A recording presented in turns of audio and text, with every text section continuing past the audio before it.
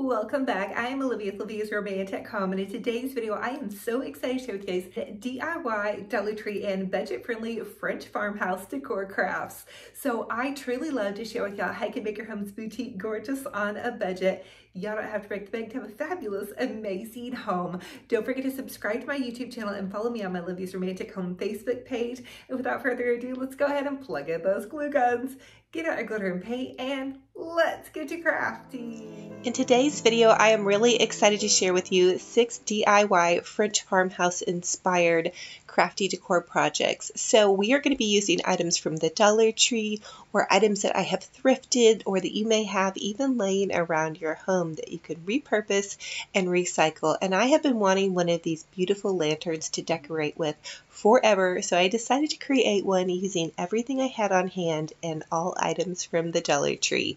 So to get started, I went ahead and gathered up several Dollar Tree frames that I had left over from another project. For this lantern, I'll be using four 8x10 frames and then four of these Dollar Tree scrolly mirrors.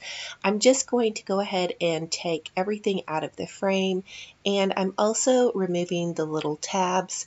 Now you can see I removed them the wrong way and it kind of broke off a little bit of the frame. So when you remove the tabs, remove them and pull them towards you, not away from the frame. That will keep them from breaking. I learned that the hard way. So anyway, I'm going to go ahead and take the little Dollar Tree mirror frames. Originally, I thought that I wanted to try and pop the mirror out, but that wasn't to be had because they didn't come out very easily and I didn't want to end up cutting myself by breaking the mirror out. So I'm just I decided to just go ahead and chalk paint over the mirror and the entire frame. So I'm using some homemade chalk paint that I mixed up. I used one cup of regular latex paint and half a cup of baking soda. And I went ahead and gave all my mirrors um, one coat and then now I'm just going in and I'm giving my frames one coat. I end up giving all of the mirrors and frames two coats on the front and then one coat on the back. Um, I definitely suggest go ahead and painting them in advance, even though the drying time did make this project a little lengthy. So now I am going in with some E6000 glue and I'm running it down the long edge of the frame. I like to use E6000 glue and hot glue together. That way they will be more permanent and stay together better, but you could just use hot glue. Although if you really want your lantern to last, I definitely recommend using a stronger glue, but I like to mix them together. That way the hot glue will kind of hold it together while the E6000 glue has time to dry.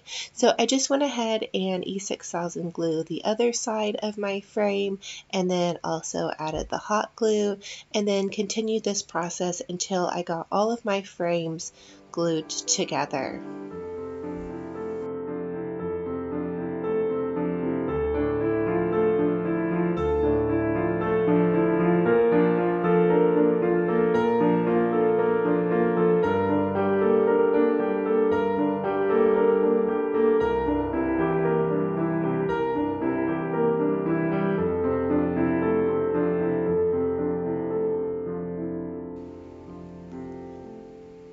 Once I had all my frames glued together, I did let it dry for about an hour or two, and then I decided to go ahead and add my little mirror parts to the top of my frame. So these wouldn't glue on, so I decided to use a white pipe cleaner.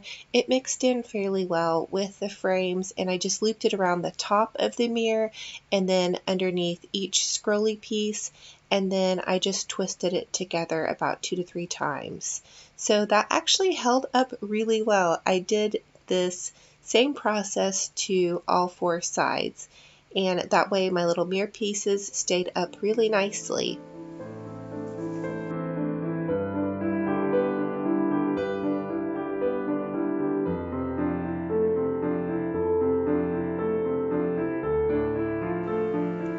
Now I'm just removing the excess of the pipe cleaner on the end and that way it doesn't stick out. Now I'm using some of that Dollar Tree tin that comes on those welcome to our patch signs that they had out for Easter and I'm going to take and I'm going to cut this piece of tin to fit over the pipe cleaner because I didn't want the pipe cleaner to show.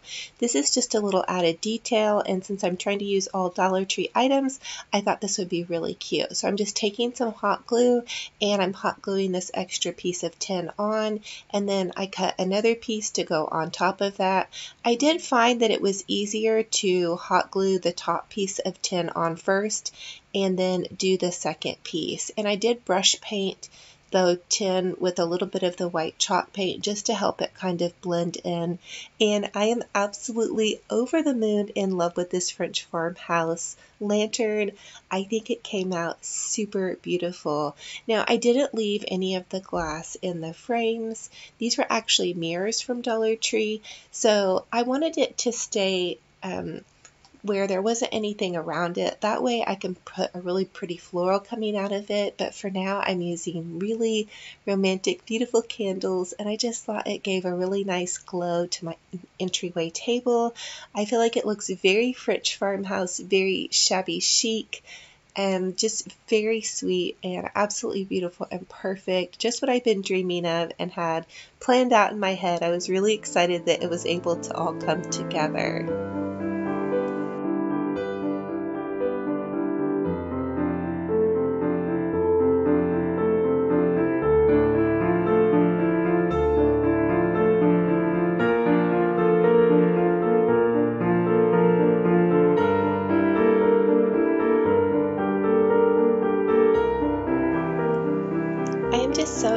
How this project came out and I cannot wait to decorate it for the different seasons. So to get ready for our next DIY, I'm just taking a Dollar Tree basket and then this little basket that I picked up at the thrift store for a dollar fifty. It came with this little fruit and basket liner inside. I am going to hang on to the other pieces in case I want to use them for another project, but I'm just going to take some of that chalk paint and I'm going to chalk paint the entire basket.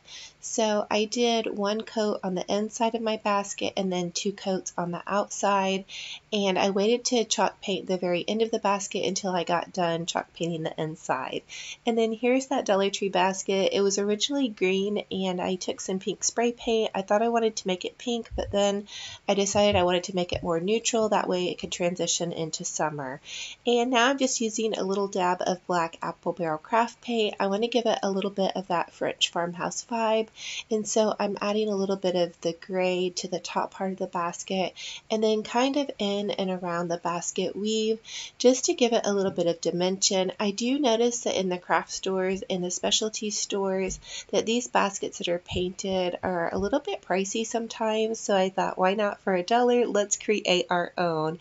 And I knew it would be just perfect in this French farmhouse vignette that I'm creating in my entryway. So I turned the Dollar Tree basket sideways and then I added a really cute little handmade nest that I'm going to share with you guys how to make.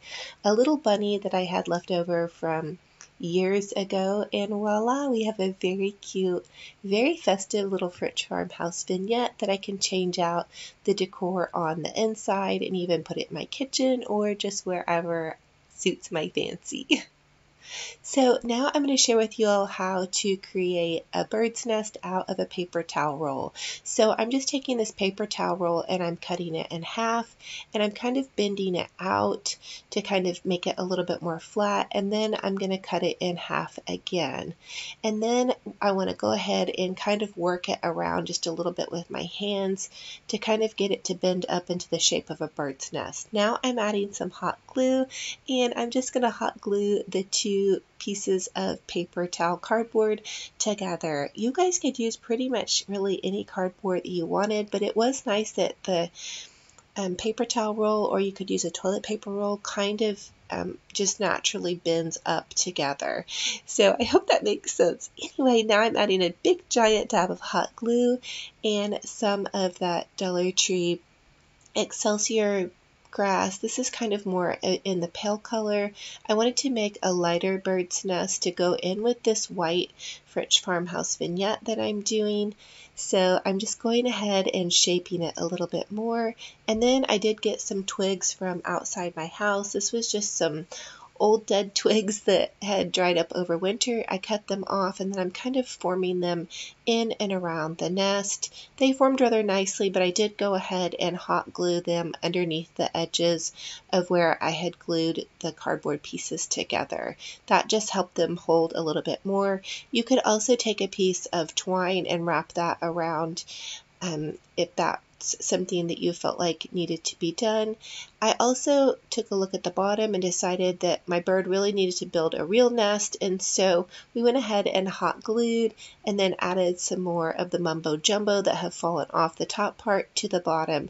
And voila, we have a beautiful, very festive little nest, perfect for spring. The bunny is nesting up in here, and I love having the basket underneath because some of these spring birds' nests do make a mess on my tables. For the next Dollar Tree DIY, I wanted to reuse some of those plastic eggs that I had laying around, so I decided to go ahead and chalk paint a couple of them to go ahead and add them into my little Easter basket vignette here. I think these are really cute for the farmhouse style and to add in with the bunny and just a great way to reuse those plastic eggs that we all have laying around everywhere around this time of year.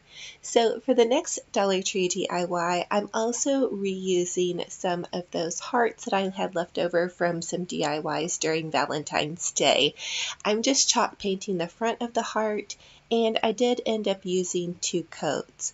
If you guys can tell, I'm really trying to repurpose and reuse items that I already have on hand. That way I can go in and reorganize my craft stash once Easter gets here and know that I really didn't buy too many things, hopefully. Um, but yeah, so these are going to be perfect, and I am just using a little bit of that black apple barrel paint to mix in to make kind of some gray. I just painted it in the center part, and then I used some Elmer's glue and I just went across the heart with the Elmer's glue and glued on this little French saying and it says life is beautiful. So I was really excited for this. I just thought it would be perfect to add the little romantic touch of the heart in with the sweet little basket and just really getting festive with that cute little egg and bunny.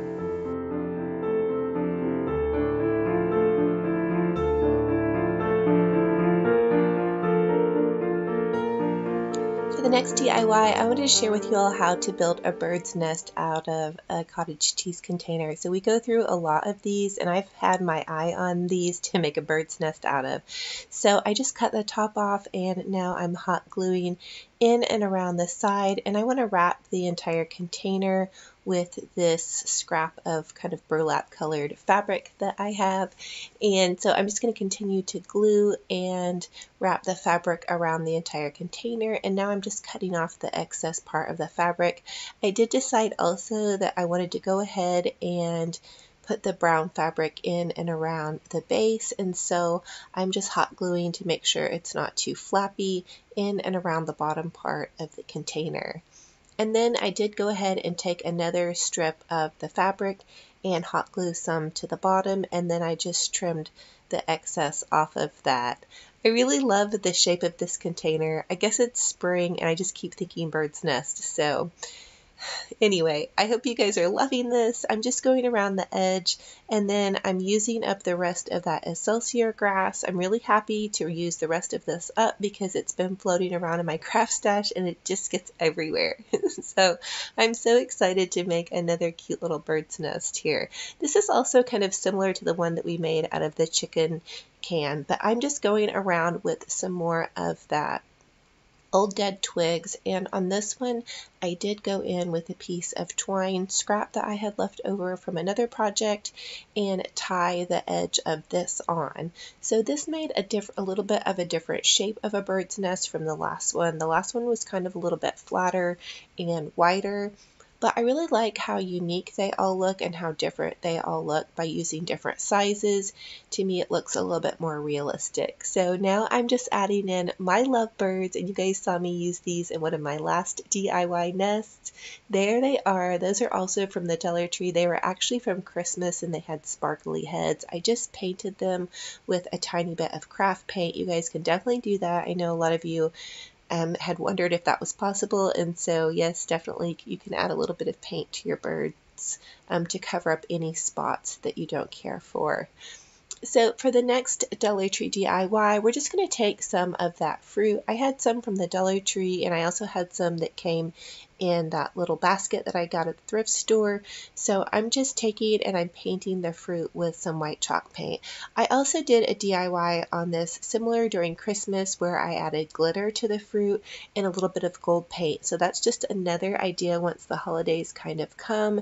If you all need some fruit pieces to add into some of your florals or whatnot, and you wanted them to be a little bit more of a muted tone. I think I did even go ahead and add a tiny bit of gray paint to the outside of this, but I definitely didn't want the fruit to be gray. So here it is. I added an apple into the basket. I added that lemon. I might go back in with a little bit of color once the summer comes and do maybe some yellows. Anyway, but I did want this all to be completely neutral. This week, I am in the mood for white. So here it is, the entire display. I am so in love with it. I think it looks really clean, really fresh, perfect for spring. I can go in and add some pastels for Easter. If I want to do coastal for the summer, I can add in some seashell aspects and whatnot. So I am just really loving this. I hope you are loving this. I really hope that you're inspired. It's such a blessing to have you here. I hope you guys are having fun crafting with me, and I just thank you and just wish you all the best, best, best ever. So slow.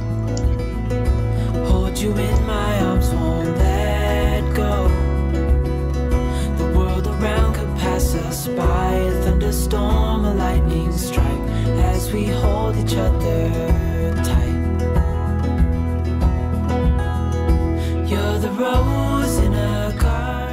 And of course, here's your favorite little creative director, Benji Bear. He has his pre-summer haircut. They put a cute little shamrock scarf on him, so he's been to the groomers. If you guys can tell, doesn't he look younger when he has his haircut just a little bit? So anyway, he just wants to say hi to everybody, Roof Roof, and meow to all the kitty cats and puppy dogs, and check that out. He actually dropped his ball for me.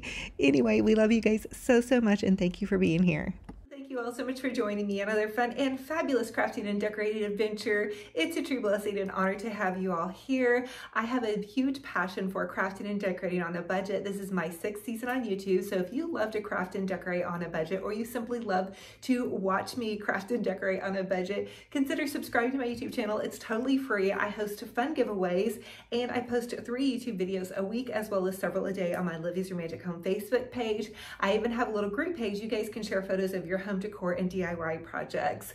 So thank you for being here. It is a true blessing and honor. Again, this is my sixth season on YouTube. So go back and binge watch some of my playlists. I have I Love Spring, I Love Christmas, I Love Fall. I do everything on a budget using Dollar Tree, thrift store, and Hobby Lobby supplies. Um, and every once in a while I'll go crazy and go to TJ Maxx or something like that. So I have always been a firm believer that you guys can have a beautiful home no matter how big or small it is. And sometimes just taking a look around and tidying up up your space and decluttering a little bit of things and doing some cute little seasonal decor will really get you on the road to having a cozy, nice home. And home is where your heart is. So do your best to keep your heart going in a positive direction. I start every day with a Dollar Tree prayer card and I found some new ones that I'm gonna do some giveaways on, as well as my $100 Hobby Lobby gift card giveaway. I'm gonna announce that on my socials. So thank you guys always for commenting and for being here and loving on me you guys' comments just keep me going. So I'm a DIY crafty mama. I'm about to be an empty nester. My daughter is going to be out of school or out of high school next year, and my son is going to be graduating and from college. Can you guys believe it? And can you believe Benji Bear is going to be four this year? It's unbelievable how time is passing and how much of this time you guys have spent with me. So thank you. I recognize so many different, you know, names and um, you know even for the new folks out there thank you guys for being here. Um, i am a one woman show here. It's me you guys in this camera. I buy all my own supplies. I create my own um, ideas. And you know i just love crafting and decorating. I've been crafting and decorating since i was a little girl. Um, you know, I've told you guys this story before where I used to get shoe boxes and, you know, make little um, houses inside of a shoe box and then cut a hole in the end of the shoe box and a hole in the top. I would cut up my mom's country living magazines and then decorate it like it was, you know, a whole living room or bedroom. And um, I love to do collages when I was a little girl, paper crafts. You guys might notice I do a lot of paper crafts on my channel. I try to even just look around me um, and say, what can I use? Kind of like, you know, these um, coffee filter roses. This was a couple videos back that I did the coffee filter roses. I always want, want to like share with you guys that you guys don't have to spend a lot of money to have beautiful crafts. Sometimes just time and creativity. But look how real these look. These are definitely have been my go-to and my favorite. Um, and I need to start doing some more of these because I want to create a whole huge garland over my door using these. I did one um, on my fireplace mantle. You guys can go back and watch that video. But anyway, totally tangent. But I love to craft and decorate on a budget. I hope you guys love to as well. I'm wishing you a gorgeous, fabulous, blessed weekend. Hello, March. Welcome, March. I'm so excited for this, um, you know, holiday of spring. You can see a lot of kind of like Easter spring behind me. They're kind of scattered. I need to start really decorating my home for Easter um, which is a huge love of mine. And Easter's coming early this year, so we guys, we've got to get on it. So I'm gonna let you guys get back to your weekend. I hope you are having a gorgeous, fabulous, blessed day, no matter where you're at. Keep going, get up off that couch, get your body moving, take your dog for a walk, walk in place. When you exercise, that brings hope into your body, it brings hope into your mind. So remember, every time we wake up, you know, no matter what stress and worry we have going on, because let me tell you, we have a bunch of that. I have a bunch of that. Um, you got to let that go and enjoy the day that God has given you. So until our next video, we're going to have brand new crafts next week. Be kind to yourselves, be kind to one another. We'll talk to you guys very soon. Bye.